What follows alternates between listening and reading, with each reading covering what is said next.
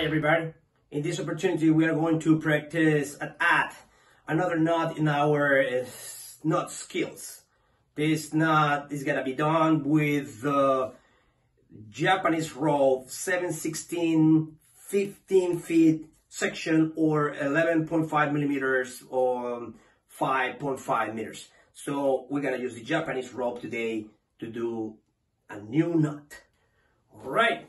That we are going to do is double bowline. Bowline knot have a lot of variation, but in this case, we're gonna do a double bowline with a bight that do not run. So the bights are going to be fixed.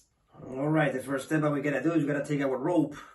You gotta try to put the two ends of the rope even, and we gotta come to the loop end, right? And we gotta take this loop. I gotta be sure that we have enough rope in order to do the knot, all right? So now what we gotta do is we gotta invert this loop, put it upside down, and yeah, I gotta turn this because I'm right-handed. So what I gotta do is I gotta do a, a loop here, I gotta twist my hand in this way, and I gotta do a loop here from uh, bottom to top. And I gotta put it in the top of the rope like this. It's gotta be in the top right? Once I have this I gotta use this loop and I gotta go in through the loop that I did before.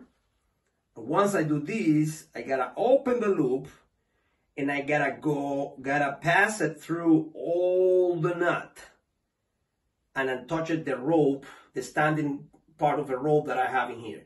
Now, I got these two bights, that's gonna be the two bights of a nut. I gotta pull them away and tie the knot. And this way, we gotta have a result, double bowline with two bights that do not run. They are fixed. Fixed bights. Double bowline with two bights. Now, let's do the knot at real speed. Take the knot, even, put the knot, do the loop, passing through,